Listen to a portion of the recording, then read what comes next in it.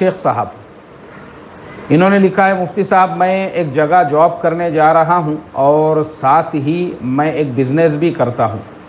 जहाँ जॉब करता हूँ, उनको पता नहीं है बिज़नेस के बारे में तो क्या ये दुरुस्त है? भाई, इरफान शेख साहब, देखो, मैं आपको एक बहुत अच्छा सवाल किया आपने। ये सवाल मुझे जो है ना, यही सेम सवाल जो है, अभी मुझे एक और साहब ने भी पूछे थे, लेकिन वो अलग, थोड़ा सा इससे मिलता जुलता ही था।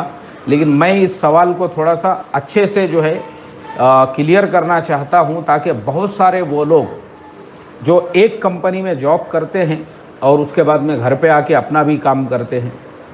एक तो ऐसा भी होता है, जैसे मिसाल के तौर पे मैं आपको मेरी बात बता दूँ कि भाई मैं एक कंपनी में जॉब कर रहा हूँ और उसके अलावा मैंने फ्रीलांस और भी कुछ प्रोजेक्ट्स लिए हुए हैं।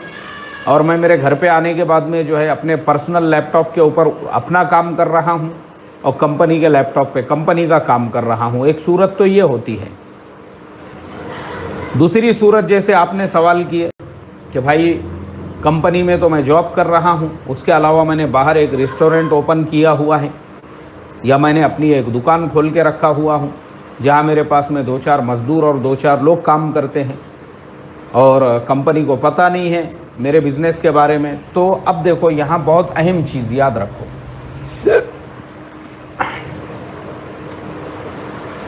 ये तमाम बातें, चाहे आप एक कंपनी में जॉब करते हुए बाद में फ्रीलांस अपने घर पे काम कर रहे हो, या आप कंपनी में जॉब करते हुए अपना बिज़नेस कर रहे हो, ये तमाम बातें डिपेंड करती है आपके एग्रीमेंट्स के ऊपर।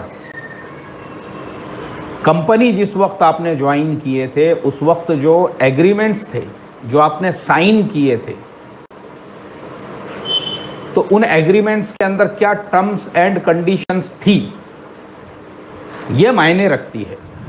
अब जैसे मैं आपको मेरी मिसाल देता हूँ, अब मैं जिस कंपनी में जॉब करता हूँ, मेरी कंपनी में स्ट्रिक्टली स्ट्रिक्टली यानी एकदम स्ट्रिक्टली ये चीज़ मना है।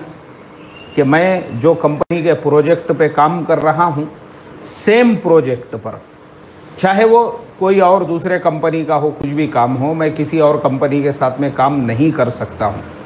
तो अब मेरा अखलाकी फ़र्ज़ है कि जो कंपनी की कंडीशंस है, जो सेम प्रोजेक्ट है, मैं किसी और कंपनी के साथ ना करूँ। हाँ उसके अलावा मैं दूसरा काम कर सकता हूँ। जैसे मिसाल के तौर पे कंपनी में मेरा एक काम है, लेकिन अब मैं बाहर दूसरा काम, जैसे मिसाल के तौर पे मैं आपको बता देता हूँ कि भाई, जैसे आप कंपनी के अंदर जो है, एक प्रोजेक्ट पे काम कर रहे हो, वो छोड़ के आप दूसरा काम कर रहे हैं तो कंपनी को उससे कोई प्रॉब्लम नहीं है। कंपनी के साथ में आपका जो एग्रीमेंट है, वो क्या है? दैट इज़ मैटर ये ये चीज़ मायने रखती है आपका अगर कंपनी, अब जैसे मैं जिस कंपनी में जॉब करता हूँ, वहाँ पे एक एक कंडीशन ये भी है कि जब तक हम कंपनी के साथ में काम कर रहे हैं, हम किसी भी पॉलिटिकल पार्टी को ज्वाइन नहीं कर सकते। और ना ही हम जो है इलेक्शन के अंदर हिस्सा ले सकते हैं खड़े रहने के लिए। अगर वैसा करना है तो उसके एक पूरी प्रोसेसिंग है उसकी। उसके लिए आपको बाजाबता, तहरीरी तौर पे कंपनी में अप्लीकेशन देना पड़ेगा, फिर उसके बाद में वो ऊपर सीनियर तक जाएगा और फिर वो सारे अप्रूवल मिलने के बाद में फिर उसके बाद आगे वो डिसाइड होगा। लेकिन फ़िलहाल तो आप नहीं कर सकते। तो कंपनियों की ये कंडीशंस होती है। अगर आपकी कंपनी में ऐसी कोई कंडीशन नहीं है और आपकी कंपनी को कुछ लेना देना ही नहीं है, आपने नौ घंटे उनके कैंपस में काम किए, उसके बाद आप बाहर निकल गए। अब बाहर आप बिज़नेस कर रहे हो, गाड़ा लगा रहे हो वड़ा पाव बेचते हो या रिक्शा चलाते हो, कंपनी को कुछ लेना नहीं है तो कोई प्रॉब्लम नहीं है।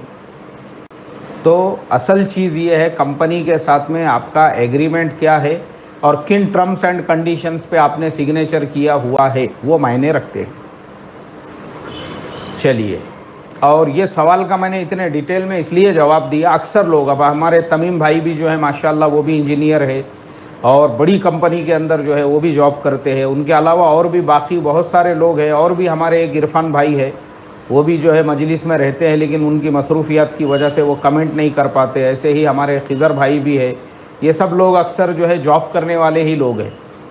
तो ये तमाम बातें डिटेल में आना ज़रूरी है और बाकी लोग भी सुन रहे हैं तो उनमें भी बहुत से आईटी प्रोफेशनल होंगे या फिर किसी और कंपनियों में अलग अलग फैकल्टीज़ में जॉब करते होंगे। ये सब चीज़ें हमको पता होना चाहिए क्योंकि इस्लाम ने इस्लाम ने इस्लाम ने हमको ये सिखाया है।